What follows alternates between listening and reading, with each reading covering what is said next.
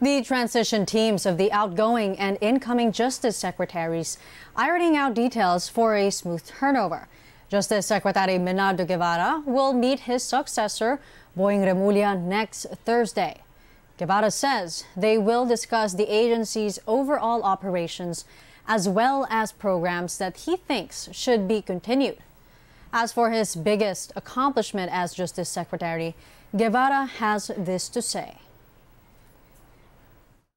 Ang ibalik ang magandang imahen, uh, magandang image at ang trust ng mga taong bayan sa Department of Justice. Siguro ang pag-measure nitong uh, achievement dito sa target na ito ay makikita natin nung magkaroon ng survey bandang July of last year among agencies in the executive department Opo. yung, yung trust trust rating at nakuha ng Department of Justice ang pinakamataas na trust rating sa NCR sa isang independent ang ibalik ang magandang imahen, uh, magandang Guevara also condemning red tagging of any individual or group. Incoming Justice Secretary Remulla made headlines during the campaign period for linking supporters of Vice President Leni Robredo to the communist movement. The drug cases against detained Philippine Senator Laila de Lima now under review by the Justice Department. That's after several witnesses recanted their allegations against de Lima. Those witnesses include self-confessed drug lord Kerwin Espinosa, former Bureau of Corrections official Rafael Ragos, and Marcelo Adorco, who was presented as Espinosa's bodyguard.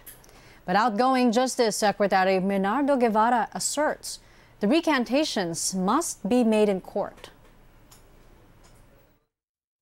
Yung mga ebidensya sa mga kaso no, ay lagi naman niyang nire-review periodically ng uh, Department of Justice. Depende kung ano ang nangyayari sa uh, uh, proseso ng trial no, ng kaso sa mga korte.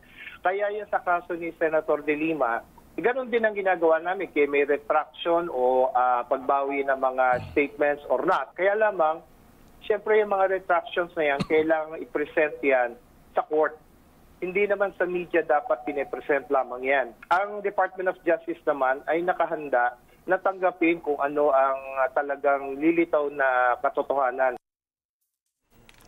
The camp of De Lima, meanwhile, is confident the drug charges against her will be dropped soon. Consistent ang pattern. At ang story nila, lahat nagja-jive. Ang sinasabi, ang Department of Justice sa ilalim ni Rodrigo Duterte ay pinwersa sila, tinakot sila, uh, at nag-imbento ng storya at nag-manufacture ng evidence. Hindi ba yun na nakakatakot? Hmm. Nakakatakot na ang Department of Justice mi- mismo ang nag iimbento ng ebidensya, nagpepwersa at nananakot sa mga witnesses at ang mas nakakatakot pa dito, ang dami ng taong nagpagamit kahit na alam nilang kasinungalingan. This is the greatest mm. frame up in Philippine history.